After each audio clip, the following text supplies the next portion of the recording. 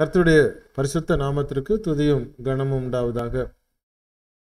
நாற்பத்தி ஏழாவது வகுப்பிலே வந்திருக்கிறவங்க ஒவ்வொருவரையும் கர்த்தரா இயேசு கிறிஸ்துவ நாமத்தில் நான் வாழ்த்துகிறேன் வரவேற்கிறேன். இந்த நாளில் நாம் காண இருக்கிற புத்தகம் பேதுருவுக்கு எழுதினதான முதலாவது நிருபத்தை குறித்து நாம் கவனிக்க இருக்கிறோம். இதை எழுதியவர் பேதுரு என்பது நாம் அறிந்த ஒரு காரியம். எழுதிய காலம் அறுபத்தி நான்காவது ஆண்டிற்கு அருகாமையிலே அதாவது ஒரு அறுபத்தி ஏழாம் ஆண்டின் துவக்கம் அல்லது அறுபத்தி மூன்றாம் ஆண்டின் கடைசி பகுதி என்று நாம் அறிய முடிகிறது. எழுதப்பட்ட இடம் கூடுமான அளவிற்கு இது ரோம் நகரிலே எழுதப்பட்டது என்பதை நாம் கவனிக்க முடியும். ஏனென்று சொன்னால் ஐந்தாம் அதிகாரம் பதிமூன்றாவது வசனத்திலே பாபிலோன் என்று இது அழைக்கப்படுகிறது. பாபிலோன் என்று சொல்லும் பொழுது பேதுருவானவர் கடைசி தன்னுடைய நாட்களிலே அவர் ரோமர் நாட்டு நாட்டிலே அவர் வாழ்ந்தார் என்பதை சரித்திரம் சொல்கிறது அது மாத்திரமல்ல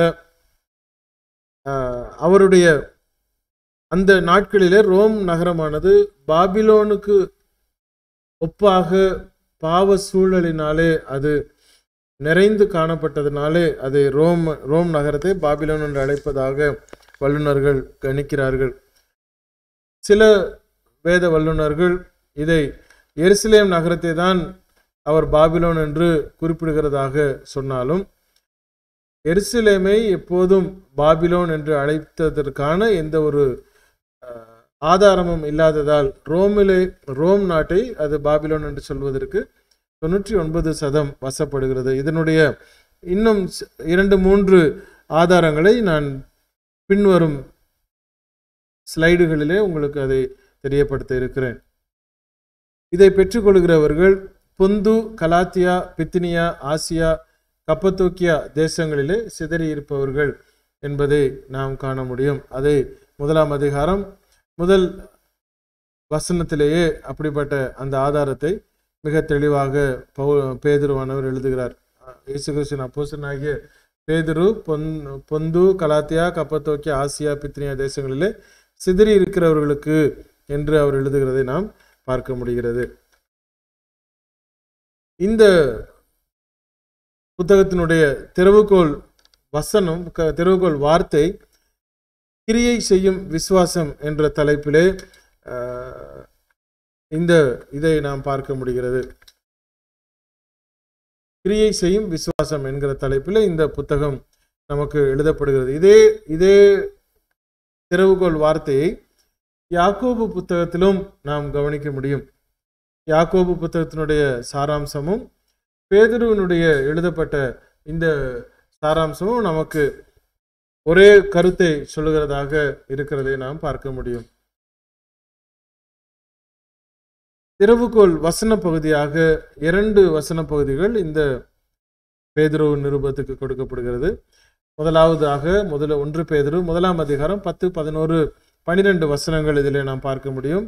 பத்தாவது வசனத்தை நான் வாசிக்கிறேன். உங்களுக்கு உண்டான கிருபையை குறித்து தீர்க்கு தரிசனம் சொன்ன தீர்க்கதரிசிகள் இந்த ரட்சிப்பை குறித்து கருத்தாய் ஆராய்ந்து பரிசோதனை பண்ணினார்கள் என்று பத்தாவது வசனத்திலையும் பின்பதாக பதினோராவது வசனம் தங்களில் உள்ள கிறிஸ்துவின் ஆவியானவர் கிறிஸ்துவுக்கு உண்டாகும் பாடுகளையும் அவைகளுக்கு பின்வரும் மகிமைகளையும் முன்னறிவித்த போது இன்ன காலத்தை குறித்தார் என்பதையும் அந்த காலத்தின் விசேஷம் இன்னதென்பதையும் ஆராய்ந்தார்கள்.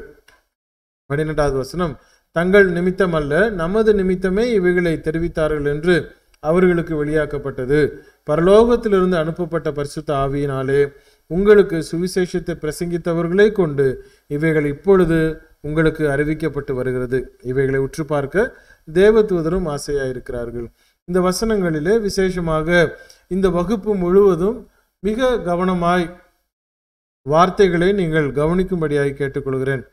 இந்த புத்தகத்தில் மிக கவனமாய் நாம் பார்க்க வேண்டிய விசேஷம் என்ன என்று சொன்னால் பேதுரு எழுதக்கூடிய எழுத்து நடையும் போஸ்டலாகிய பவுல் எழுதக்கூடிய எழுத்து நடைக்கும் வித்தியாசம் உண்டு. ஆகவே நாம் பதிமூன்று நிருபங்களை பவுல் எழுதின நிருபங்களை பார்த்திருக்கிறோம். அந்த ஒரு நோக்கத்திலே நாம் இதை பார்க்க முடியாது. இது எழுதப்பட்ட வகை the style of writing is different ஆகவே இது மிக கவனமாக நீங்கள் இதை வார்த்தைகளை கவனிக்கும்படியாக கேட்டுக்கொள்கிறேன். பதினோராவது வசனம் என்ன சொல்கிறது பாருங்கள் தங்களில் உள்ள கிறிஸ்துவின் ஆவியானவர். தங்களில் உள்ள அப்படிங்கிறது இது யாரை குறிக்கிறது? அது பத்தாவது வசனத்தில் சொல்லப்படுகிறது போல தீர்க்கதரிசிகளை குறிக்கிறது. அதாவது இயேசு கிறிஸ்துவுக்கு முன்பதாக வந்த தீர்க்கதரிசிகள். எல்லா தீர்க்கதரிசிகளும் இறைமையாவாக இருக்கட்டும் ஏசாயாவாக இருக்கட்டும் தாவிதாக இருக்கட்டும் தாவிதும் ஒரு தீர்க்கதரிசி என்று நாம் பார்க்கிறோம். எல்லா தீர்க்கதரிசிகள் மல்கியா வரைக்கும் நம்ம பார்க்கக்கூடிய அத்தனை தீர்க்கதரிசிகளும் அவர்கள் யாரை கொண்டு தீர்க்க தரிசனம் சொல்கிறார்களாம்? கிறிஸ்துவின் ஆவியானவர் என்று அதை சொல்கிறார். கிறிஸ்துவின் ஆவியானவர் கிறிஸ்துவுக்கு உண்டாகும் பாடுகளையும் அவைகளுக்கு பின்வரும் மகிமைகளையும் தீர்க்கதரிசிகளுக்கு முன்னறிவித்த போது எதை குறித்து சொல்கிறார்களாம்? இன்ன காலத்தை குறித்தார் என்பதையும் அந்த காலத்தின் விசேஷம் என்னது என்பதையும் ஆராய்ந்தார்கள். எந்த காலம்? கிறிஸ்துவின் காலத்தை குறித்து தீர்க்கதரிசிகள் கிறிஸ்துவின் ஆவியானவரை கொண்டு அந்த ஜனங்களுக்கு பேசினார் என்று சொல்லப்படுகிற அந்த வார்த்தையை நாம் கவனிக்க வேண்டும். தங்கள் நிமித்தம் அல்ல நமது நிமித்தமே தங்கள் நிமித்தம் என்றால் தீர்க்கதரிசிகள் நிமித்தம் அல்ல நமது நிமித்தமே நமதுனா இப்பொழுது அவர் எழுதி கொண்டிருக்கிற அவரையும் அதை பெற்றுக்கொள்கிற அந்த பொந்து கலாத்தியா கப்பத்தோக்கி ஆசியா பித்தினியா தேசங்களில் சிதறி இருக்கிற கிறிஸ்தவர்களையும் அவர் சொல்கிறார் நமது நிமித்தமே இது அவர்களுக்கு மாத்திரமல்ல நிச்சயமாய் இந்த காலங்களில் வாழ்ந்து கொண்டிருக்கிற நமக்கும் நமக்கு என்றால் நம்மை போல இஸ்ரவேலர்கள் அல்லாத புறஜாதியராகிய கிறிஸ்தவர்களுக்கும் நமக்கும் அது பொதுவாக வருகிறது என்பதையும் நாம் கவனிக்க முடியும். பனிரெண்டாவது வசனத்தை மீண்டும் வாசிக்கிறேன். தங்கள் நிமித்தம் அல்ல நமது நிமித்தமே இவைகளை தெரிவித்தார்கள் என்று அவர்களுக்கு வெளியாக்கப்பட்டது. பரலோகத்திலிருந்து அனுப்பப்பட்ட பரிசுத்த ஆவியினாலே பதினோராவது வசனம் என்ன சொல்லுது? கிறிஸ்துவின் ஆவியானவர். பன்னிரெண்டாவது வசனம் என்ன சொல்லுகிறது? பரலோகத்திலிருந்து அனுப்பப்பட்ட பரிசுத்த ஆவியினாலே உங்களுக்கு சுவிசேஷத்தை பிரசங்கித்தவர்களை கொண்டு இவைகள் இப்பொழுது உங்களுக்கு அறிவிக்கப்பட்டு வருகிறது. யார் நமக்கு சுவிசேஷத்தை சொன்னது? அப்போ சிலர்கள் சொல்கிறார்கள் எப்படி அவர்கள் சுவிசேஷத்தை அவர்கள் பெற்றுக்கொள்கிறார்கள்? இயேசு கிறிஸ்துவின் மூலமாக. அதை எப்படி எழுதி வைக்கிறார்கள்? பரிசுத்த ஆவியானவர் மூலமாக. அப்போ பரிசுத்த ஆவியினாலே உங்களுக்கு சுவிசேஷத்தை பிரசங்கித்தவர்கள். அப்போது அதை நாம் இன்றைக்கி நம்ம வாசிக்கிறோம் அப்படின்னா பரிசுத்த ஆவியானவர் மூலமாக நமக்கு எழுதப்பட்ட அந்த வார்த்தைகளை நம்ம வாசித்து கொண்டிருக்கிறோம். இப்பொழுது உங்களுக்கு அறிவிக்கப்பட்டு வருகிறது. இயேசு கிறிஸ்து சொன்னார் நான் உங்களுக்கு சொல்லுகிற எல்லாவற்றையும் பரிசுத்த ஆவியானவர் உங்களுக்கு நினைப்பூட்டுவார் அப்படின்ற ஒரு காரியத்தை சொல்கிறார் அதனால தான் இங்கே சொல்லப்பட்ட காரியம் பன்னிரெண்டாவது வசனத்தில் பரலோகத்திலிருந்து அனுப்பப்பட்ட பரிசுத்த ஆவியினாலே உங்களுக்கு சுவிசேஷத்தை பிரசங்கித்தவர்களை கொண்டு இவைகள் இப்பொழுது உங்களுக்கு அறிவிக்கப்பட்டு வருகிறது. இவைகளை உற்று பார்க்க தேவதூதரும் ஆசையா இருக்கிறார்கள் இது பிரசன்ட் இருக்கிறது. அப்போ இன்றைக்கும் நாம் சுவிசேஷத்தை கேட்டுக்கொண்டே கேட்டுக்கொண்டே கேட்டுக்கொண்டே நாம் ரட்சிப்புக்குள்ளே வருகிற காரியங்களை தேவதூதரும் ஆசையாய் உற்று பார்த்து கொண்டிருக்கிறார்கள் அப்படிங்கிற அந்த பிரசன்ட் டென்ஸ்ல சொல்லப்படுகிறதை நாம் கவனிக்க வேண்டும். இரண்டாவது திறவுகோள் வார்த்தை நான்காம் அதிகாரம் பன்னிரெண்டு பதிமூன்று வசனங்களில் நாம் பார்க்க முடியும். பிரியமானவர்களே உங்களை சோதிக்கும்படி உங்கள் நடுவில் பற்றி எரிகிற அக்னியை குறித்து ஏதோ புதுமை என்று திகையாமல் கிறிஸ்துவின் மகிமை வெளிப்படும் போது நீங்கள் கலிகூர்ந்து மகிழும்படியாக அவருடைய பாடுகளுக்கு நீங்கள் பங்காளிகளானதால் சந்தோஷப்படுங்கள் என்று சொல்கிறார். இயேசு கிறிஸ்துவனுடைய பாடுகளுக்கு ஒவ்வொரு கிறிஸ்தவனும் உண்மைக்கு நின்று சத்தியத்தில் நின்று அவன் பாடுபடும் பொழுது அவன் கிறிஸ்துவனுடைய பாடுகளுக்கு பங்காளிகள் பார்ட்னர் என்று சொல்லப்படுகிற ஒரு காரியத்தை நாம் அப்பேற்பட்ட ஒரு பாக்கியத்தை பெற்றுக்கொள்கிற ஒரு சம்பவமாக பேதர் எழுதுகிறார். இந்த புத்தகத்தினுடைய திறவுகோல் அதிகாரம் நான்காவது அதிகாரமாக நாம் பார்க்க முடியும். மையமான ஒரு கருத்தாக நான்காவது அதிகாரத்திலே நாம் பார்க்க முடிகிறது. சரி புத்தகத்தை பற்றிதான சில முக்கிய குறிப்புகளை நான் உங்கள் மத்தியில் கொண்டு வருகிறேன். துன்புறுத்தலின் மத்தியிலே போராடும் யூத கிறிஸ்தவர்களுக்கு எழுதும் கடிதத்திலே கிறிஸ்துவுக்காகவும் கிறிஸ்துவனுடைய திட்டத்திற்காகவும் தைரியமாக போராடும்படி பேதுரு அவர்களை ஊக்குவிக்கிறார். துன்பம் வரும்பொழுது கிறிஸ்துவுக்காக கிறிஸ்து தன்னுடைய திட்டத்திற்காக நம்மை நாம் அந்த அழைப்புக்காக நாம் அழைக்கப்பட்டிருக்கிறோம். அப்படி இருக்கும் பொழுது நாம் நிச்சயமாக அந்த அழைப்பை இழந்து போய் விடாதபடிக்கு நாம் கவனமாக இருக்க வேண்டும் என்கிற நோக்கத்திற்காக பிரத்யேகமாக இந்த புத்தகம் எழுதப்படுகிறது.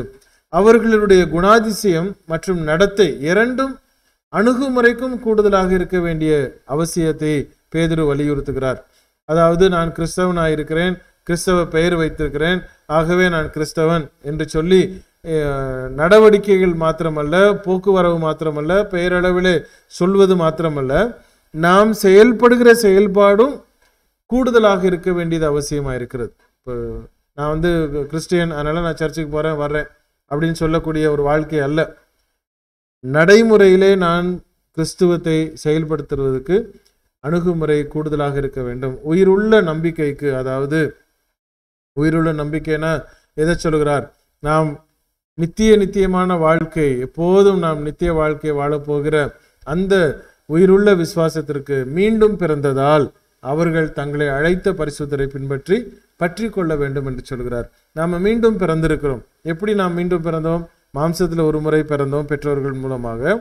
இப்பொழுது நான் நித்திய காலமாக வாழ வேண்டும் என்கிற நோக்கத்திலே மறுபடியும் பாவ மன்னிப்பிற்கென்று நான் ஞானஸ்நானம் பெற்றதுனாலே நான் மீண்டும் பிறந்திருக்கிறேன் என்பதை அறிகிறோம். அப்படிப்பட்ட ஒரு அந்த பிறப்பு எதற்காக பிறந்தோம்? ஏன் மீண்டும் நாம் பிறந்தோம்? நித்திய நித்திய வாழ்வை பெற்றுக்கொள்ள வேண்டும் என்பதற்காக நாம் மீண்டும் பிறந்திருக்கிறோம். ஆகவே அப்பேற்பட்ட அந்த நம்பிக்கையை நாம் பற்றி கொண்டு இயேசு கிறிஸ்துவனுடைய சுவிசேஷத்திற்கு தொடர்ந்து நாம் கீழ்ப்படிந்து பின்வாங்கி விடாமல் இருக்க வேண்டும் என்கிற காரியத்தை அவர் கொண்டு வருகிறார். அப்பேற்பட்ட அந்த அந்த மீண்டுமாக பிறந்ததற்கான அந்த செயல்பாடு எதிலே நடத்தப்படுகிறது என்று சொன்னால் கீழ்ப்படிதலிலே நம்மை நடத்துகிறது. அந்த குணம் நம்மை கீழ்ப்படிதல் ஊராக நம்மை கொண்டு செல்கிறது. கீழ்ப்படிதல் இல்லை என்று சொன்னால் நாம் இதிலே ரட்சிக்கப்படுவதற்கு வீணான ஒரு காரியமாய் போய்விடும். அப்போ நித்தியத்திற்கென்று அழைக்கப்பட்டவர்கள் மீண்டும் பிறந்தவர்கள் கீழ்ப்படிதலுக்குள்ளாக கடந்து வரும் பொழுது கிறிஸ்துவுக்குள்ளார எப்போதும் நாம் நிலைத்திருக்கிறவர்களாக இருக்கிறோம். எப்படிப்பட்ட கீழ்ப்படிதல் என்கிறதை ஒரு ஐந்து பகுதியாக ப- பேதுரு இந்த இடத்துல வெளிப்படுத்துகிறார். முதலாவது குடிமக்கள் அரசாங்கத்திற்கு கீழ்ப்படிய வேண்டியது அவசியம். எஜமானர்களுக்கு வேலைக்காரர்கள் கீழ்ப்படிய வேண்டியது அவசியம். கணவனுக்கு மனைவி கீழ்ப்படிய வேண்டியது அவசியம். கணவனானவன் மனைவிக்கு தன்னை சமர்ப்பிக்க வேண்டியது அவசியமா இருக்கிறது. கிறிஸ்தவர்கள் தம்மில் ஒருவருக்கொருவர் கீழ்ப்படிவது சமர்ப்பிப்பது அவசியமாக இருக்கிறது இப்போ அந்த சமர்ப்பணம் என்கிற அந்த காரியத்தை முதலாவது நாம் புரிந்து கொள்ள வேண்டும். சமர்ப்பணத்தை முழுமையாக புரிந்து கொண்ட பின்னரே பேதுரு துன்பத்தின் கடினமான பகுதியை அவர் கையாளுகிறார். சம்ப- சப- சமர்ப்பணம் என்று சொன்னால் சப்மிசிவ் என்னை நான் ஒப்பு கொடுக்கிறேன் அதனுடைய தீர்மானத்திற்கு கட்டளைக்கு கீழ்ப்படிதலுக்கு என்னை ஒப்பு கொடுக்கிறேன் உதாரணத்திற்கு கிறிஸ்தவர்கள் என்று சொல்லி கிறிஸ்துவுக்கு ஒப்பு கொடுத்தவர்கள் உண்மையாக கிறிஸ்துவுக்கு ஒப்பு கொடுக்கிறார்களா என்று சொன்னால் இல்லை. எப்படியாக இதை சொல்கிறேன் கிறிஸ்துவுக்கு நான் கீழ்ப்படிந்ததாக கிறிஸ்தவர்கள் மத்தியிலே ஊழியக்காரர்களுக்கு மத்தியிலே தங்களை ஒப்பு கொடுத்தவர்கள் ஆனால் அரசாங்கத்திற்கு அதை தெரிவிக்கிறார்களா என்று சொன்னால் தெரிவிப்பதல்ல. அரசாங்கத்துக்கு தெரிவித்தால் எனக்கு லாபம் இப்போ வராது பதவி உயர்வு வராது அல்லது எனக்கு வந்து சலுகைகள் கிடைக்காது என்று சொல்லி அரசாங்கத்திற்கு தன்னை சமர்ப்பிக்காமல் கீழ்ப்படியாமல் அவர்கள் இரட்டை வாழ்க்கை வாழ்வதை நாம் அநேக மக்களிடத்திலே கண்டிருக்கிறோம். கிறிஸ்தவர்கள் தங்களை சோதிக்கும்படி தங்கள் நடுவில் பற்றி எறிகிற அக்னியை குறித்து ஏதோ புதுமை என்று திகையாமல் கிறிஸ்துவின் துன்பங்களில் அவர்கள் பங்குதாரர்களாக மகிழ்ச்சி அடைகிறார்கள் என்பதை பேதுரு அவர்களுக்கு வலியுறுத்துகிறார். வாழ்க்கைக்கான அந்த பதில் உண்மையிலேயே கடவுளின் நல்ல கரத்திற்குள் ஒருவர் அடிபணிவதின் உச்சகட்டமாக இருக்கிறது நான் கஷ்டப்படுவதனாலே நான் உண்மையாக இருப்பதனாலே சத்தியத்திற்கு கீழ்ப்படிவதனாலே என்னுடைய உண்மைத்தன்மையை நான் மற்றவர்களுக்கு சொன்னதினாலே எனக்கு வர வேண்டிய லாபமோ எனக்கு வர வேண்டிய பதவி உயர்வோ எனக்கு கிடைக்க வேண்டிய சலுகைகளையோ நான் இழந்தால் தேவன் அதற்கான கிருபைகளை நமக்கு நேரடியாக கொடுக்கிறார். காரணம் உண்மையாக இருக்கிறவர்களை அவருக்கென்று உத்தமமாக இருக்கிறவர்களை தேவனானவர் தன்னுடைய உள்ளங்கையில் வைத்து அவர்களை கவனிக்கிறார் என்பதை பேதுரு வெளி வெளிப்படுத்துகிறார். ஒன்று பேதுருவின் அடிப்படை கருப்பொருள் கிறிஸ்தவ துன்பங்களுக்கு சரியான பதிலை அது தருகிறதாய் இருக்கிறது. துன்புறுத்தல் கிறிஸ்தவ வாழ்க்கையிலே வளர்ச்சி அல்லது கசப்பை ஏற்படுத்தும். அவர்களது பதில் முடிவை தீர்மானிக்கிறது. நான் ஏற்கனவே சொன்னது போல எந்த ஒரு மனுஷனும் உண்மையாய் கிறிஸ்தவனுக்கு கீழ் கிறிஸ்தவனாய் இருக்க வேண்டும் என்றால் உண்மையாய் கிறிஸ்துவுக்கு கீழ்ப்படுகிறதா என்றால் அவன் வாழ்க்கையில மற்றவர்கள் மத்தியிலே கசப்பை அவன் சம்பாதிப்பான். அவன் தன்னுடைய வாழ்க்கையில வளர்ச்சியை கண்டடைவான். அதற்கு நான் நானே சாட்சியாய் உங்கள் முன்னதாய் நிற்க முடியும். உண்மையாய் நாம் நிற்கும் பொழுது மக்கள் மத்தியிலே நமக்கு கசப்பு வளரும். நாம் அவர்களை சுட்டி காட்டுவோம் தவறான காரியங்களை சுட்டி காட்டுவோம் அவர்களுக்கு பிரியம் இல்லாததிலே நாம் பங்கெடுப்போம். அவர்கள் விரும்பியதை நாம் செய்ய மாட்டோம். தேவனுக்கு பிரியமானதை செய்யும் பொழுது உலகத்தாருக்கு நாம் எதிராக நிற்கும் பொழுது நிச்சயமாய் வாழ்க்கையிலே கசப்புகள் வளரும். ஆனால் அதே வேளையிலே வாழ்க்கையில் நம்மளுடைய சொந்த வாழ்க்கையிலே கிறிஸ்தவ வாழ்க்கையிலே அதிகமான வளர்ச்சியையும் மேன்மையையும் நாம் கண்டடைவதிலே எந்த சந்தேகமும் இல்லை என்பதை தெளிவாய் நாம் அறிய வேண்டியது. தனது வாசகர்கள் அதாவது இந்த புத்தகத்தை பெற்று பெற்றுக்கொள்கிறவர்கள் முன்பை விட அதிக துன்புறுத்தலை எதிர்கொள்வார்கள் என்பதை அறிந்த பேதுரு இந்த சோதனைகள் பற்றிய தெய்வீக கண்ணோட்டத்தை வழங்குவதற்காக இந்த கடிதத்தை எழுதுகிறார். இதனால் அவர்கள் தங்கள் நம்பிக்கையில் அசைக்காமல் அவற்றை சகித்து கொள்ள முடியும் என்பதை புரிந்து கொள்ள வேண்டும். நம்முடைய வாழ்க்கையில் தேவன் எனக்கு வேண்டியவர்களை செய்கிறார் என்கிற ஒரு தீர்மானத்தை நாம் உணர்ந்த பொழுது மனுஷனுக்காக நாம் எதையும் விட்டு கொடுக்க மாட்டோம். தேவனுடைய வார்த்தைக்கா தேவனுடைய வார்த்தையை பற்றி கொண்டு வேறும் வேண்டும் என்று சொல்லி மனுஷனுக்கு முக முகஸ்துதியாக எதையுமே நாம் சத்தியத்தை நாம் விட்டு கொடுக்க மாட்டோம். அவர்களது சோதனையில் அவர்கள் ஆச்சரியப்படக்கூடாது. அதாவது நம்முடைய வாழ்க்கையிலும் நமக்கு ஒரு சோதனையோ பிரச்சனையோ வேதனைகளோ துன்பங்களோ போராட்டங்களோ நெருக்கங்களோ நமக்கு கிறிஸ்தவனாக இருப்பதனாலே வருகிறது என்று சொன்னால் நாம் ஆச்சரியப்படக்கூடாது. ஏனென்றால் நாம் யாரை பின்பற்றுகிறோமோ அந்த இயேசு கிறிஸ்துவும் நம்மை போல துன்பப்பட்டு இறந்தார் என்பதை வேதாமம் மிக தெளிவாய் சொல்கிறது. அவர் நன்மை செய்தார் அற்புதங்களை செய்தார் எல்லா ஜனங்களுக்கும் வேண்டிய சகலவிதமான நன்மையான ஆசீர்வாதங்களை அவர் அளித்தார். கடைசியாக அவரை சிலுவையிலேயே கொன்றார்கள் என்பதை நாம் அறிந்திருக்கிறோம். அவர் துன்பப்பட்டு தான் இறந்தார் என்பதை மறந்து போகக்கூடாது. அப்பேற்பட்ட இயேசு கிறிஸ்து நாம் பின்பற்றும் பொழுது நமக்கு ஒரு துன்பம் வந்தால் நமக்கு ஒரு பாடுகள் வந்தால் நாம் அவரை நினைத்து கொள்ள வேண்டியது அவசியமாக இருக்கிறது. கிறிஸ்துவின் துன்பங்களை பகிர்ந்து கொள்வதை நாம் பாக்கியமாக எண்ண வேண்டியது. காரணம் என்னென்று சொன்னால் அவர்களுடைய கஷ்டங்கள் அவர்களுடைய சொந்த தவறுகளால் அல்ல. நாம் நினைக்க வேண்டும் நான் இன்றைக்கு ஒரு கஷ்டப்படுகிறேன் அப்படின்னு சொன்னால் அது எதனால? நான் இன்னைக்கு கடன் பாரத்தில் மாட்டிக்கிட்டேன் எனக்கு பத்து லட்சம் கடன் இருக்குது அப்படின்னா அது என்னுடைய சொந்த தவறு. அப்போ கடன் ஏன் வாங்க வேண்டும்? அந்த கடனை வாங்கி கொண்டு ஐயோ ஆண்டவரே ஆண்டவரே எனக்கு கடன் பாரத்தை தீர்த்து வையும் அப்படின்னா அது நம்ம அவரவர்கள் தங்களுடைய இச்சையினாலே இழுக்கப்பட்டு கடன் பா கடன் வாங்கி அவர்கள் சோதிக்கப்பட்டவர்கள். அதுதான் கடந்த வகுப்பில் யாக்கோபில் நம்ம யாக்கோபு புத்தகத்தில் நம்ம பார்த்திருக்கிறோம். அப்போ சொந்த தவறுகளால் அல்ல மாறாக அவர்களுடைய கிறிஸ்தவ சாட்சியத்துக்காகவே ஏற்படுகின்றன என்பதில் உறுதியாக இருக்க வேண்டும் என்று பேதுரு அவர்களுக்கு அறிவுறுத்துகிறார்.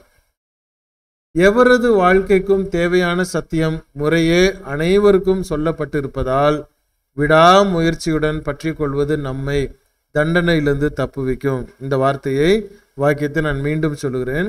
எவரது வாழ்க்கைக்கும் தேவையான சத்தியம் ஒழுங்காக அவர்களுக்கு அளிக்கப்பட்டிருக்கிறது. அதாவது எது ரட்சிப்பு எது அழிவு என்பதை எல்லா ஜனங்களுக்கும் அனைவருக்கும் ஒவ்வொருவருக்கும் ஒருவரும் விடப்படவில்லை. அத்தனை பேருக்கும் சுவிசேஷம் அறிவிக்கப்பட்டிருக்கிறது.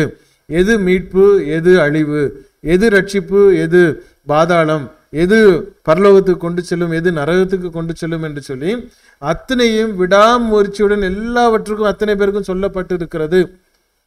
அதை பற்றி கொள்ளாமல் அதற்கு அவர்கள் மீறி அவர்கள் செய்த பொழுது தண்டனைக்கு ஆளாக்கப்பட்டார்கள். மீண்டும் சொல்லுகிறேன். ஒவ்வொருவருடைய வாழ்க்கையும் நன்மைக்கு ஏதுவாக இருக்கும்படி ரட்சிப்புக்கு ஏதுவாக இருக்கும்படி பரலோகத்திற்கு போவதற்கு ஏதுவாக இருக்கும்படி நித்திய ஜீவனை பெற்றுக்கொள்வதற்கு ஏதுவாக இருக்கும்படி அத்தனை பேருக்கும் ஒருவர் இல்லாமல் அத்தனை பேருக்கும் எல்லா காலத்திலும் அத்தனை பேருக்கும் சுவிசேஷம் அறிவிக்கப்பட்டது. சத்தியம் இதுதான் என்று அறிவிக்கப்பட்டது. அதிலேயே அவர்கள் கீழ்ப்படியாததினாலே தண்டனைக்கு உள்ளாக்கப்பட்டார்கள். கீழ்ப்படியாததினாலே அவர்கள் நித்திய அழிவிற்கென்று வைக்கப்படுகிறார்கள். கீழ்ப்படியாததினாலே அழிவை சந்திக்கிறார்கள் என்று வேதாமம் தெளிவாய் சொல்லுகிறது. ஆவியிலே பிழைக்கும்படியாக நாம மாம்சத்தில் நம்ம இந்த மாம்சம் இறந்து போயிடும் ஆனால் என்னுடைய ஜீவியம் ஆவியில நான் பிழைக்கும்படியாக சுவிசேஷம் அனைவருக்கும் சொல்லப்பட்டது என்பதை நாம் முதலாவது கவனிக்க வேண்டும். அதுதான் நான் முன்னாடி சொன்னேன். எல்லாருடைய வாழ்க்கைக்கும் தேவையான சத்தியம் எல்லாருக்கும் சொல்லப்பட்டிருக்கிறது என்பதை. நான்காவது அதிகாரம் ஆறாவது வசனம் பாருங்க. இதற்காக மரித்தோரானவர்கள் மனுஷர் முன்பாக மாம்சத்திலே ஆக்கணைக்கு உள்ளாக்கப்பட்டிருந்தோம். தேவன் முன்பாக ஆவியிலே பிழைக்கும்படியாக அவர்களுக்கும் சுவிசேஷம் அறிவிக்கப்பட்டது. எல்லா ஜனங்களுக்கும் சுவிசேஷம் அறிவிக்கப்பட்டது. எத்தனை முறை நம்ம வந்து சாக்கு சாக்குப்போக்கு சொல்ல முடியும்? முடியவே முடியாது. எல்லா முறையும். ஏதோ ஒரு நாள் ஏதோ ஒரு வகையில் யார் மூலமாவது எது சத்தியம் எது சரி என்பதை நம்முடைய காதுகள் கேட்டிருக்கிறது. அதுக்கு நாம் செவிகூடாமல் போய் அதற்கு கீழ்ப்படியாமல் போனதினாலே நம்முடைய வாழ்க்கையை இழப் இழப்போம். அதைத்தான் அங்கு தெளிவாக சொல்கிறார். ஆவியிலே பிழைக்கும்படியாக சுவிசேஷமானது அனைவருக்கும் சொல்லப்பட்டு இருக்கிறது. ஏறத்தாழ நூறு வருடங்கள் நோவா ஜனங்களுக்கு சத்தியத்தை எடுத்து சொல்கிறார். பாவத்திலிருந்து விட்டு ஓயுங்கள் என்று சொல்கிறார். ரட்சிக்கப்படுங்கள் என்று சொல்கிறார். தேவனை குறித்து அவர் சத்தியத்தை அவர்களுக்கு பிரசங்கிக்கிறார். ஆனாலும் இத்தனை காலங்களும் நூறு வருட காலமாக சுமார் ஏறத்தாழ நூறு வருட காலங்களாக அந்த ஜனங்கள் சத்தியத்தை கேட்டும் பிரசங்கத்தை கேட்டும் எவ்வளவு காலங்களாக கேட்டுமே அவர்கள் கீழ்ப்படியாமல் போனதினாலே அந்த ஜனங்கள் பாதாளத்தில் அடைக்கப்பட்டார்கள் என்பதை மிக தெளிவாக பேதுரு தன்னுடைய நிருபம் மூன்றாவது அதிகாரத்தில் பத்தொன்பது இருபது வசனங்களிலே சொல்லுகிறார். அந்த ஆவியிலே கவனிங்க அந்த வார்த்தையை மாம்சத்திலே அல்ல. அந்த ஆவியிலே அவர் அவர்ன்றது இயேசு கிறிஸ்துவை சொல்கிறது. அவர் போய் காவலில் உள்ள ஆவிகளுக்கு பிரசங்கித்தார். அந்த ஆவிகள் பூர்வத்திலே நோவா பேழையை ஆயத்தம் பண்ணும் நாட்களிலே தேவன் நீடிய பொறுமையோட காத்திருந்த போது கீழ்ப்படியாமற் போனவைகள். கவனிச்சிங்களா? இது பாஸ்டன்ஸ் அதாவது இயேசு கிறிஸ்துவானவர் அவருடைய ஆவியிலே இந்த காவலிலே இப்பொழுது பாதாளத்தில் அடைக்கப்பட்டிருக்கிற ஆவிகளுக்கும் சுவிசேஷத்தை சொன்னார். அவர்கள் அந்த சுவிசேஷத்திற்கு கீழ்ப்படியாமற் போனதினாலே இப்பொழுது பாதாளத்தில் இருக்கிறார்கள் என்று பேதிரு சொல்கிறார் நாம் வழக்கமாக என்ன பண்ணுறோம் ப பலவிதமான வெளிப்போதனைகள் எப்படி சொல்கிறது என்று சொன்னால் இயேசு கிறிஸ்துவானவர் சிலுவையில் மறித்ததுக்கு பின்பு மூன்று நாள் பாதாளத்தில் போய் இவர்களுக்கு சுவிசேஷத்தை சொன்னார் என்று சொல்கிறார்கள் அது அல்ல. அப்படி அல்ல அந்த வசனம். எப்போது சுவிசேஷம் சொல்லப்பட்டது என்பதை நாம் முதலாவது புரிந்து கொள்ள வேண்டும். இந்த வசனத்தை திரும்ப நான் வாசிக்கிறேன். பத்தொன்பதாவது வசனம். அந்த ஆவியிலே எந்த ஆவியிலே? இயேசு கிறிஸ்துவனுடைய ஆவியிலே. அவர் கிறிஸ்துவானவர் காவலில் இப்போது இருக்கக்கூடிய ஆவிகளுக்கு பிரசங்கித்தார் அப்படின்னு சொல்றார். ஆனா எப்போ பிரசங்கித்தார்? அதை தான் நம்ம கவனிக்கணும். அதை ஒன்றாம் அதிகாரம் பதினோராவது வசனம் நமக்கு வெளிப்படுத்துகிறது. ஏற்கனவே வாசித்தது. தங்களில் உள்ள கிறிஸ்துவின் ஆவியானவர் கிறிஸ்துவுக்கு உண்டாகும் பாடுகளையும் அவைகளுக்கு பின்வரும் மகிமைகளையும் முன் அறிவித்த போது கவனிச்சிங்களா? அப்போ இயேசு கிறிஸ்துவானவர் தம்முடைய ஆவியிலே எல்லா ஜனங்களுக்கும் முற்காலத்தில் உள்ள ஜனங்களுக்கும் சுவிசேஷத்தை அறிவித்தார். யார் மூலமாக அறிவித்தார்? எல்லா ஜனங்கள் மூலமாக தீர்க்கதரிசிகள் மூலமாக இந்த பர்டிகுலர் மூன்றாவது அதிகாரம் பத்தொன்பது இருபது வசனத்தில் அவர் சொல்லுகிறது அவர் இயேசு கிறிஸ்துவானவர் இந்த இந்த நோவா காலத்தில் இருந்த ஜனங்களுக்கும் பிரசங்கம் அறிவிக்கப்பட்டது. அவர்களுக்கு அறிவித்தார். அவர்கள் நோவா மூலமாக அறிவித்தார். ஆனாலும் அவர்கள் கீழ்ப்படியாமற் போனார்கள். இருபதாவது வசனத்தை திரும்ப வாசிக்கிறேன் மூன்றாம் அதிகாரம் இருபதாவது வசனம் அந்த ஆவிகள் பூர்வத்திலே கவனிச்சிங்களா பூர்வத்திலே நோவா பேழையை ஆயத்தம் பண்ணும் நாட்களிலே தேவன் நீடிய பொறுமையோடு காத்திருந்த போது கீழ்ப்படியாமற் போனவைகள். நூறு வருடங்கள் ஏறத்தாழ நூறு வருடங்கள் பிரசங்கித்த பொழுதும் கீழ்ப்படியாமற் போனவைகள் என்று சொல்கிறார். இன்றைக்கும் இதே நிலைமை நடந்து கொண்டிருக்கிறது. அன்னைக்கு நூறு வருஷத்தில் உள்ள ஆவிகளை தான் நம்ம பார்த்து கொண்டிருக்கிறோம். ஆனால் ரெண்டாயிரம் வருஷமாக இயேசு கிறிஸ்து வந்ததுக்கு பின்பு எப்படி நம்முடைய ரட்சிப்பு வருகிறது என்று வேதாமம் தெளிவாய் சொல்லியிருந்தோம். இன்றைக்கு வரைக்கும் கீழ்ப்படிய மனம் இல்லாமல் தங்களுடைய சொந்த கட்டுக்கதைகளுக்கு போய் கொண்டிருக்கிற ஜனங்களை நாம் எப்பேற்பட்ட ஆவிகளை நாம் பாதாளத்தில் அவர்கள் பார்க்க போகிறார்களோ தேவன் தான் அறிகிறார். மன்னிப்பு என்பது ஞானஸ்நானத்தில் பெற்று பெறப்படுகிறது. பாவ மன்னிப்பு என்பது ஞானஸ்நானத்திலே பெறப்படுகிறது. அப்போ ஞானஸ்நானம் எதுக்கு எடுக்கிறோம்? நாம் வந்து சபையில் சேர்றதுக்கோ மதம் மாறுறதுக்கோ எடுக்கலை. ஞானஸ்நானம் எது எடுக்கிறது? பாவ மன்னிப்பிற்கு என்று நாம் ஞானஸ்நானம் எடுக்கிறோம். இப்போ ஞானஸ்நானத்தை நான் பாவ மன்னிப்புக்கு என்று நான் எடுக்கும் பொழுதுதான் என்னுடைய பாவங்கள் மன்னிக்கப்படுகிறது. அதை அறியாதபடிக்கு சத்தியத்தை புரியாதபடிக்கு யார் என்ன எதற்கு ஏன் என்று ஒன்றும் புரியாதபடிக்கு ஏதோ கடமைக்கு நான் ஞானஸ்நானத்தை எடுத்தேன் என்று சொன்னால் அது ஒரு சத்தியத்தின்படி ஏற்றுக்கொள்ளப்படுவது அல்ல. நான் என்னுடைய பாவங்கள் மன்னிக்கப்பட வேண்டும் என்று சொன்னால் நான் சத்தியத்தை கேட்க வேண்டும் மனம் திரும்ப வேண்டும் விசுவாசத்தை அறிக்கையிட வேண்டும் பாவ மன்னிப்பிற்கு என்று நான் ஞானஸ்நானம் பெற்றுக்கொள்ள வேண்டும். அப்பொழுது நான் ரட்சிப்பின் பாதையிலே நான் துவங்குகிறேன். முடிவு பரியந்தம் சத்தியத்தில் நான் நிலைத்து நிற்கும் பொழுது இந்த ரட்சிப்பை நான் பெற்றுக்கொள்கிறேன். இல்லாத பட்சத்தில் நான் இந்த ஜனங்கள் இப்பொழுது என்ன சொல்லி கொண்டிருக்கிறார்கள்? ரட்சிக்கப்பட்டு ஞானஸ்நானம் என்று சொல்லிக் கொண்டிருக்கிறார்களே அது தவறான முறை அது வேதத்தில் சொல்லப்படாத முறை ஜனங்களை பாதாளத்துக்கு தள்ளுகிற முறை அதை நாம் புரிந்து கொள்ள வேண்டும். நாம் ரட்சிக்கப்பட்டு ஞானஸ்நானம் எடுப்பதல்ல நாம் ஞானஸ்நானம் எடுத்து தான் ரட்சிக்கப்படுகிறோம் என்று வேதாமம் சொல்கிறது. இப்போ நூறு வருடங்களுக்கு மேலாக அந்த ஜனங்களுக்கு பொதிக்கப்பட்டிருந்தோம். துளி கூட ஒரு மனிதன் கூட கீழ்ப்படிய முடியாதபடிக்கு வெறும் எட்டே எட்டு பேர் மாத்திரமே அந்த பேழைக்குள்ளே கடந்து சென்றார்களே. இன்றைக்கு இரண்டாயிரம் ஆண்டுகளுக்கு மேலாக சத்தியத்தை குறித்து போதித்து கொண்டிருக்கிறோம். ஒவ்வொருவரும் தங்கள் தங்கள் காலங்களிலே தங்கள் தங்கள் ஜனங்களுக்கு போதித்து கொண்டிருக்கிறார்கள். ரட்சிப்புக்குள்ளே வாருங்கள். ஞானஸ்நானம் பாவம் மன்னிப்பிற்கென்று பெற்றுக்கொள்ளுங்கள் என்று சொல்லி எவ்வளோ முறை சொல்லியிருந்தோம் சொல்லியிருந்தோம் சொல்லியிருந்தோம். கீழ்ப்படியாமற் தங்களுடைய வணங்கா கழுத்துள்ளவர்களாய் இதோ இந்த சத்தியத்திற்கு கீழ்ப்படியாதபடிக்கு தங்களுடைய கோட்பாடுகளுக்கும் தங்களுடைய விதிகளுக்கும் அவர்கள் செவி சாய்த்து கொண்டு தங்களுடைய ஆத்துமாக்களை வீணாக்கி கொண்டிருப்பதை நாம் பார்த்து கொண்டுதான் இருக்கிறோம். இப்போ இந்த சுவிசேஷம் அறிவித்தது மாம்சத்திலே அல்ல ஆவியிலே என்று நாம் பார்க்கிறோம். இந்த நீதியின் பிரசங்கம் எப்படி அங்கு அவர்களுக்கு போய் சேர்ந்ததாம்? இரண்டு பேதுருவிலே நாம் வந்து ஒரு வசனத்தை பார்க்க முடியும். இரண்டு பேதுரு இரண்டாம் அதிகாரம் நான்கு ஐந்து வசனங்களை பாருங்க. பாவம் செய்த தூதர்களை தேவன் தப்ப விடாமல் அந்தகார சங்கிலிகளினாலே கட்டி நரகத்திலே தள்ளி நியாய தீர்ப்புக்கு வைக்கப்பட்டவர்களாக ஒப்பு கொடுத்து கவனிங்க ஐந்தாவது வசனம் பூர்வ உலகத்தையும் தப்ப விடாமல் நீதியை பிரசங்கித்தவனாகிய நோவா முதலான எட்டு பேரை காப்பாற்றி அவபக்தி உள்ளவர்கள் நிறைந்த உலகத்தின் மேல் ஜலப்பிரளயத்தை வரப்பண்ணி என்று பார்க்கிறோம். அதாவது பூர்வ உலகத்தை கூட அவர் வந்து சத்தியத்தை சொன்னார். அவர்களையும் தப்ப விடலை. அவர்களுக்கும் பிரசங்கம் அறிவிக்கப்பட்டது. யார் மூலமாக அறிவிக்கப்பட்டது? நோவா மூலமாக அறிவிக்கப்பட்டது. நோவா மூலமாக யார் அறிவிக்கிறார்? கிறிஸ்துவின் ஆவியானவர் அறிவிக்கிறார். அதைத்தான் நம்ம பார்க்கிறோம். ஒன்று பேதுரு மூன்றாவது அதிகாரத்திலே நம்ம படித்தது என்ன? பத்தொன்பது இருபது வசனங்கள். அந்த ஆவியிலே அவர் போய் காவலில் உள்ள ஆவிகளுக்கு பிரசங்கித்தார். அதாவது அந்த நேரத்தில் போய் அவர் பிரசங்கிக்கலை. காவலிலே இருக்கிற அந்த ஆவிகள் கீழ்ப்படியாமற் போனவைகள் எப்போ கீழ்ப்படியவில்லை? நோவா காலத்திலே அவர்களுக்கு சுவிசேஷம் அறிவிக்கப்பட்ட பொழுது அவர்கள் அந்த வார்த்தைக்கு செவி சாய்க்காமல் தங்களுடைய இருதயத்தை கடினப்படுத்தினதுனாலே கீழ்ப்படியாமல் இப்பொழுது ஆக்கினைக்கு உள்ளாக்கப்பட்டிருக்கிறார்கள் இன்றைக்கு இந்த சத்தியத்தை கேட்கிற நீங்களும் நானும் எதற்கு நாம் எப்படியாக ஞானஸ்நானம் பெற்றுக்கொண்டோம்? ஒழுங்காக கீழ்ப்படிந்திருக்கிறோமா? ரட்சிப்புக்குள்ளே வந்திருக்கிறோமா? பாவ மன்னிப்பிற்கென்று நாம் ஞானஸ்நானம் எடுத்திருக்கிறோமா என்பதை நாம் நம்மை நாமே பரிசோதிக்க வேண்டும். ஏன் இயேசு கிறிஸ்துவானவர் பாதாளத்திலே போய் அந்த இடத்திலே சொல்லுவதற்கு அவசியம் இல்லை என்று சொன்னால் ஒருவர் இறந்தால் அவருக்கு நியாய தீர்ப்பு இறந்ததுக்கு பின்பதாக இன்னொரு வாய்ப்பு கிடையாது. இறந்ததுக்கு பின்பதாக மறுபடியுமாக நான் சத்தியத்தை கேட்டு மனம் திரும்பி வரலாம் என்று சொல்வதற்கு இடமில்லை. எப்ரேர் ஒன்பது இருபத்தி ஏழு சொல்கிறது பிறந்ததுக்கு பின் ஒரே தரம் மறிப்பதும் அவன் பின்பு நியாய தீர்ப்பு அடைவதும் நியமிக்கப்பட்டிருக்கிறது என்று சொல்கிறார். அப்படி இருக்கும் பொழுது ஒருவன் மறித்து விட்டால் அவனுடைய வாழ்க்கை அதோடு நியாய தீர்ப்புக்காக வைக்கப்பட்டிருக்கிறது. அங்கே போய் வழக்காட முடியாது.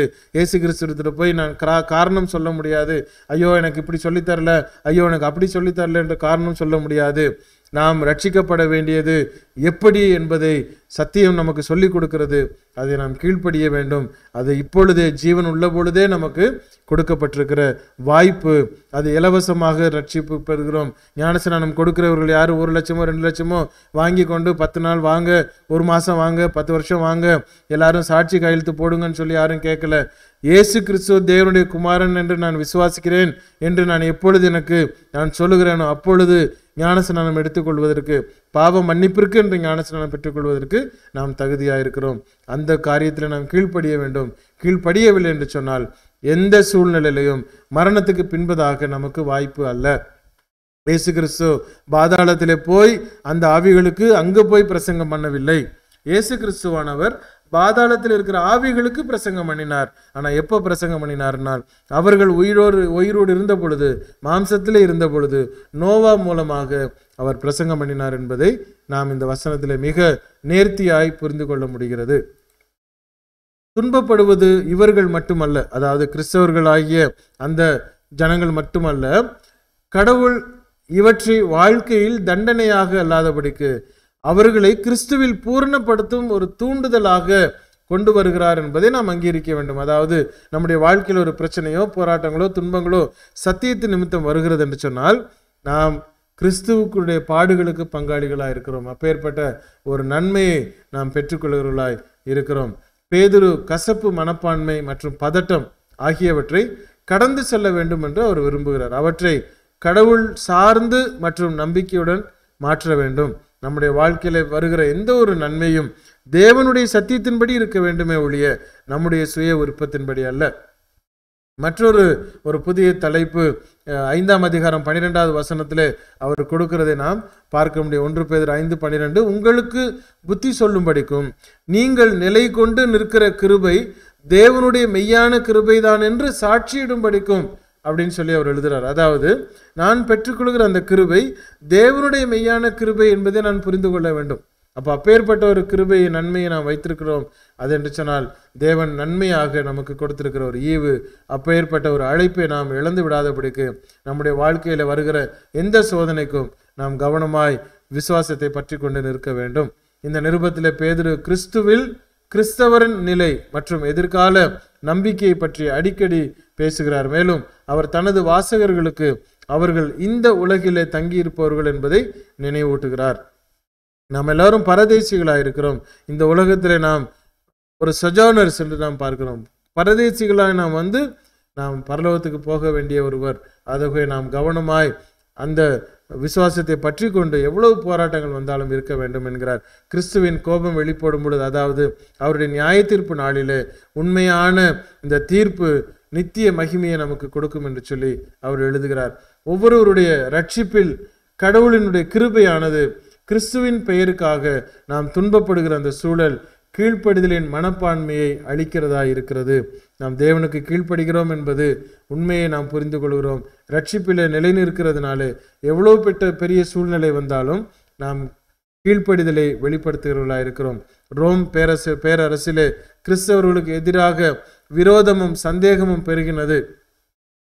மேலும் அவர்கள் தங்கள் வாழ்க்கை முறைகளுக்காக புதிய ராஜ்யத்தை பற்றி பேச்சுக்காகவும் பழி தூற்றப்பட்டு துஷ்பிரயோகம் செய்யப்பட்டனர்.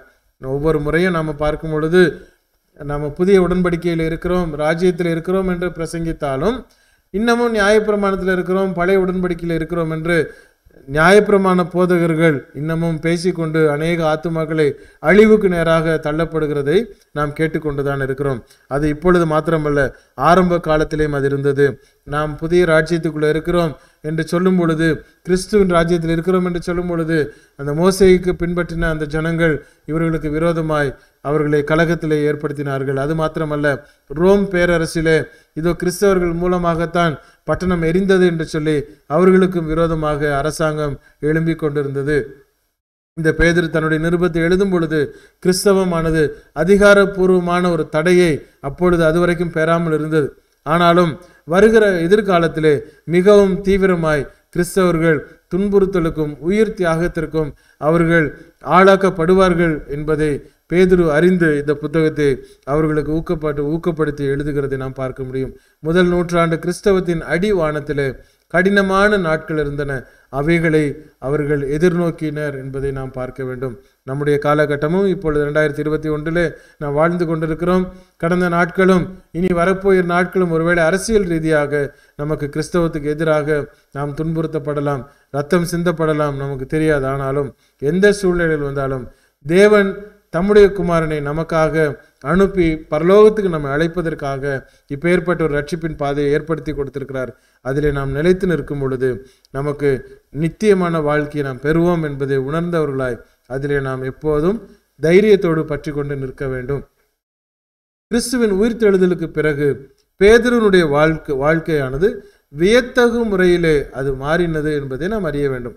ஆரம்ப கால சபையிலும் சமாரியர்கள் மற்றும் புறஜாதிகளுக்கு நற்செய்தியை பரப்புவதிலும் பேதுருவின் பங்கு முக்கியமாக இருந்தது அதை அப்போச நடவடிக்கைகள் இரண்டாம் அதிகாரத்திலிருந்து பத்தாம் அதிகாரம் வரைக்கும் நாம் காண முடியும். அப்போ சிலர் பதினைந்தாவது அதிகாரத்தில் எருசலேம் பட்டணத்தில் நடந்த ஒரு முக்கியமான அந்த கவுன்சிலுக்கு பின்பதாக அந்த கூட்டத்திற்கு பின்பதாக பேதுருவின் செயல்பாடுகளை குறித்த பதிவு மிகவும் குறைவாகவே வேதாமத்தில் நாம் பார்க்க முடியும். பேதுரு தன்னுடைய மனைவியோடு சேர்ந்து அதிக அளவிலே பயணம் செய்தார் என்றும் பல்வேறு மாகாணங்களிலே அவர் ஊழியம் செய்தார் என்பதையும் நாம் கவனிக்க முடிகிறது. வரலாற்றுப்படி அறுபத்தி எட்டாவது ஆண்டிலே நீரோ என்கிற அந்த மன்னர் மறிப்பதற்கு கொஞ்சம் முன்பு பேதுரு தலைகீழாக சிலுவையில் அறையப்பட்டு கொல்லப்பட்டார் என்று வரலாற்று செய்தி உள்ளது இருக்கிறது. பேதுரு தன்னுடைய கடைசி ஆண்டுகளை ரோம்லே கழித்ததாக நாம் பார்க்க முடியும். உருவ வழிபாட்டின் மையமாக பாபிலோன் என்ற சொல் ரோமிற்கு பொருத்தமான அடையாள பெயராக இருந்தது. இதை நாம் வெளிப்படுத்தின விசேஷம் பதினேழாம் அதிகாரம் பதினெட்டாவது வசனத்திலே பாபிலோன் என்கிற அந்த வார்த்தை ரோம் நகரை குறிக்க பயன்படுத்தப்படுகிறது என்பதை நாம் அறிய வேண்டும். ஆகவே தான் பேதுருவின் விஷயத்திலும் இந்த நிருபமும் இது உண்மையாக இருக்கிறதுக்கு வாய்ப்புகள் என்று நான் சொன்னேன். பவுலின் முதல் சிறைவாசத்தின் போது மார்க்கு ரோமிலே இருந்ததாக ஐந்து பதிமூணுல நாம் பார்க்கிற அந்த குறிப்பு இந்த ரோம் இந்த பாபிலோன் என்கிற வார்த்தை ரோமுக்கு பொருந்துகிறதையும் நாம் கவனிக்க முடியும். அதனால தான் நான் இது பாபிலோன் என்கிற அந்த வார்த்தை ரோமிலிருந்து இந்த நிருபம் எழுதப்பட்டிருக்கலாம் என்று தொடக்கத்தில் நான் சொன்னேன். இந்த நிருபம் நாற்பத்தி நான்காம் அறுபத்தி சாரி அறுபத்தி நான்காம் ஆண்டிலே நீரோவின் கீழ் துன்புறுத்தல் கிறிஸ்தவர்களுக்கு எதிராக வெடிப்பதற்கு சற்று முன்பு எழுதப்பட்டிருக்க வேண்டும். கிறிஸ்தவர்களுக்கு விரோதமாக வளர்ந்து வரும் உலகிலே பரதேசிகள் என்று சொல்லி அவர் இந்த நிருபத்தை அட்ரஸ் பண்ணுகிறார். அவர்களே கர்த்தரில் வாழும் நம்பிக்கையின் யதார்த்தத்தை வலியுறுத்துகிறார். நம்முடைய வாழ்க்கை எதற்கு இந்த காலம் கொஞ்ச காலமாக இருக்கலாம். நீங்கள் என்ன என்னுடைய மாம்சத்தை தானே கொலை பண்ணுவீங்க? உயிரை தானே எடுப்பீங்க? ஆனால் நீங்கள் அந்த உயிரை கண்ட்ரோல் பண்ண முடியாது. இந்த உயிர் பரலோகத்துக்கு போக வேண்டிய ஒரு உயிர். நான் என்னுடைய வாழ்க்கையில் நம்பிக்கை இருக்கிறது என்பதை ஒரு யதார்த்தத்தை வலியுறுத்துகிற ஒரு உன்னதமான ஒரு புத்தகமாய் இது இருக்கிறது. கடவுளின் கிருபையிலே உறுதியாக நிற்பதின் மூலமே நாம் நம்முடைய வாழ்க்கையில வரக்கூடிய அக்னி சோதனைகளை தாங்கிக் கொள்ள முடியும் என்று பேதுரு வலியுறுத்துகிறார்.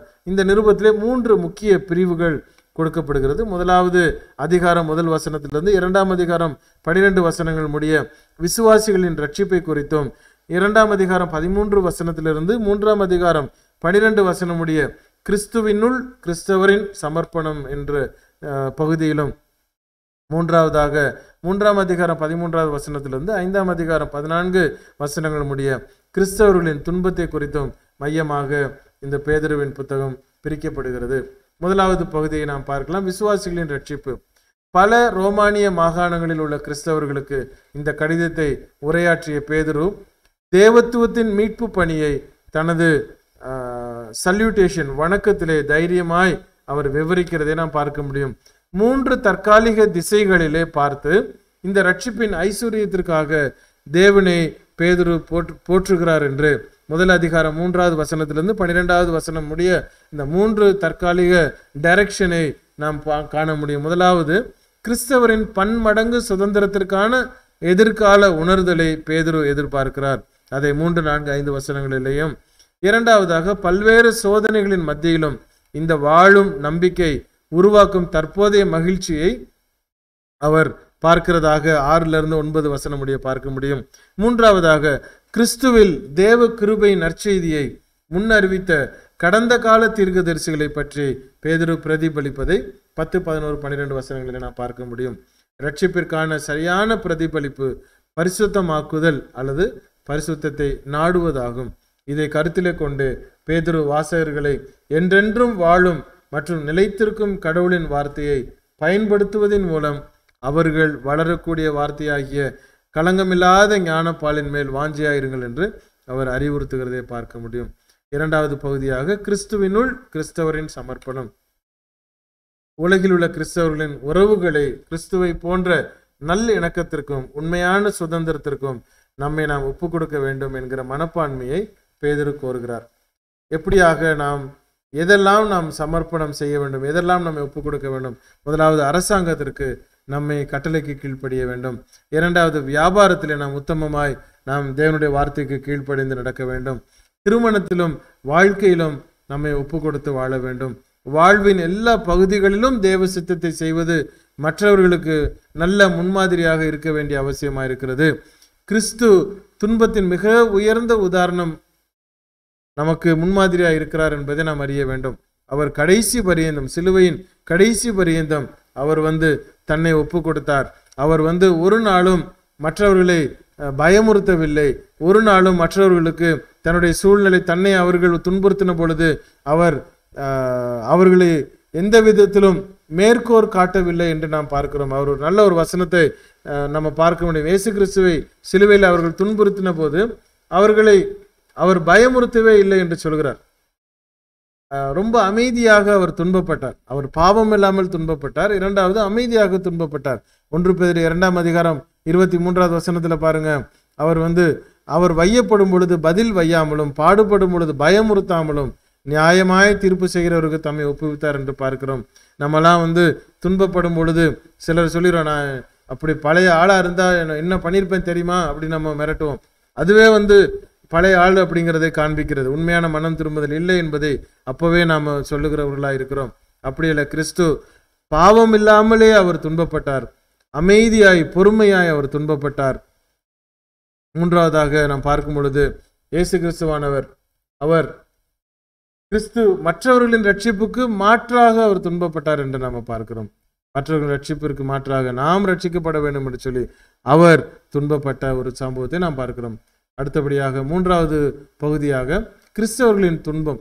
கிறிஸ்தவத்திற்கு எதிர்ப்பு அதிகரித்து வருவதால் பல வாசகர்கள் தங்கள் நம்பிக்கையையும் நடத்தையையும் பாதுகாக்க வேண்டும் எதிர்பார்த்து புத்திசாலித்தனமான மற்றும் கருணையுடன் அவ்வாறு செய்ய தயாராக இருக்கும்படி பேதர் அவர்களை ஊக்குவிக்கிறார். நம்முடைய வாழ்க்கையிலும் பிற்கால நாட்களிலே இன்னும் அதிகமாய் நாம் ஒருவேளை ரத்தம் சிந்துகிற அளவிற்கு நமக்கு போராட்டம் வரலாம்.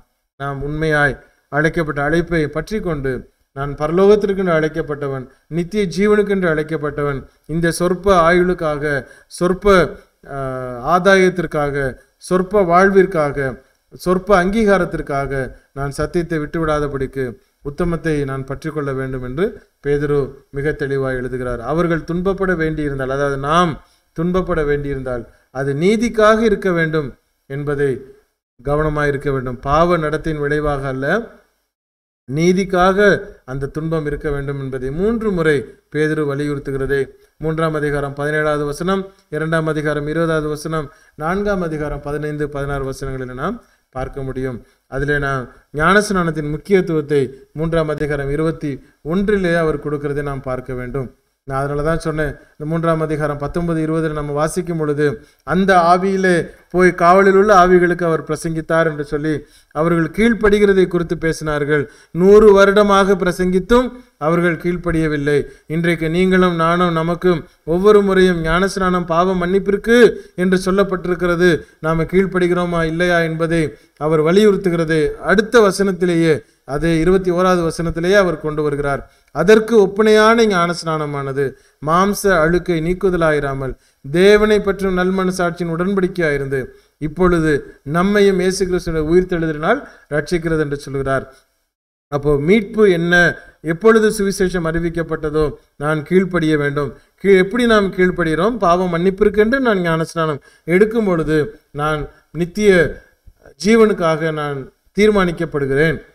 அப்பேற்பட்ட அந்த ஞானஸ்நானத்திற்கு முக்கியத்துவம் எவ்வளோ அதிகமாய் கொடுக்கப்படுகிறதற்கு நாம் கீழ்ப்படிய அழைக்கப்படுகிறோம். கிறிஸ்தவர்களாக வாசகர்கள் முன்பு செய்தது போல் இனி மாம்சத்தின் இச்சைகளை தொடர வேண்டியதில்லை. மாறாக அவர்கள் கடவுளின் சித்தத்தை பின்பற்ற வேண்டும் என்று சொல்லி நான்காம் அதிகாரம் முதல் ஆறு வசனங்களிலே வலியுறுத்துகிறார். அவர்கள் படும் கஷ்டங்களை கருத்தில் கொண்டு அவர்களுடைய அன்பில் பலமாய் இருக்கும்படி பேதுரு அவர்களுக்கு அறிவுறுத்துகிறார். கடவுளுக்கு எல்லாவற்றிலும் ஒரு நோக்கம் இருப்பதால் அவர்களுடைய நம்பிக்கையின் காரணமாக அவதூறு மற்றும் பழி வாங்கப்படும் போது நாம் ஆச்சரியப்படக்கூடாது. கிறிஸ்துவனுடைய பெயரும் கிறிஸ்துவுக்கு கீழ்ப்படுகிற நாம் அனைவரும் நியாயப்படுத்தப்படும் நியாய தீர்ப்பு காலம் வரும். அப்பொழுது அது நமக்கு மகிமையாய் தேவன் நம்மை கொண்டு வந்து நிறுத்துவார். ரோமானிய மாகாணங்களில் உள்ள சபை மூப்பர்களுக்கு பேதுருவானவர் சொல்கிறார் விடாமுயற்சியுடன் உங்களுடைய மந்தைகளை மென்மையான சொந்த ஆதாயத்திற்காக இழிவான இச்சைகளுக்காக அல்ல மென்மையான மெய்ப்பர்களாக இருந்து அவர்களை ஆதாயப்படுத்துங்கள் என்று அவர்களுக்கு ஐந்தாம் அதிகாரம் முதல் நான்கு வசனங்களில் வலியுறுத்துகிறதை பார்க்க முடியும். அவர் மொட்டு ஒட்டுமொத்த வாசகர்களும் ஒருவருக்கொருவர் சரியான நேரத்திலே அவரவர்களுக்கு அறிவுரையை கூறி தேவனிடம் பணிவுடன் நம்மை அன்போடு இருந்து அவரை அணிந்து கொள்ள வேண்டும் என்று பேதுருவானவர் ஐந்தாம் அதிகாரம் ஐந்து ஏழு ஆறு ஏழு வசனங்களில் சொல்கிறார். கிறிஸ்துவில் கடவுளின் நித்திய மகிமை காண அவர்களின் அழைப்பு உணரப்படும் என்று உறுதியான அறிவிலே அவர்கள் எதிரியை எதிர்க்க வேண்டும். நமக்கு சோதனை வந்தாலும் பிரச்சனைகள் வந்தாலும் போராட்டங்கள் வந்தாலும் சத்தியத்திலே நிலை நின்று நிச்சயமாய் இது தேவனுடைய மகிமைக்கு என்பதை உணர்ந்து நாம் அவைகளிலே கவனமாய் எதிரியை எதிர்க்க வேண்டும் என்று சொல்கிறார். பேதுரு மூன்று காரியங்களை சொல்லி இந்த நிருபத்தை முடிக்கிறார். முதலாவது தேவனுடைய உண்மையான கிருபையின் நோக்கத்தையும் வெளிப்படுத்துகிறார். இரண்டாவது வாழ்த்துக்களை சொல்லி வெளிப்படுத்துகிறார். மூன்றாவது ஆசீர்வாதத்தை சொல்லி இந்த நிருபத்தை முடிக்கிறார். தேவன் தாம் இதை ஆசீர்வதிப்பாராக. அடுத்த வாரம் இரண்டு பேதுரு புத்தகத்தோடு உங்களை நான் மீண்டும் சந்திக்கிறேன். நேரடியாக வகுப்புகளிலே கலந்து கொள்ளுமாறு உங்களை யாவரையும் நான் உற்சாகப்படுத்துகிறேன். தேவன் தாமே இந்த வார்த்தைகளை ஆசீர்வதிப்பாராக. ஆமேன்.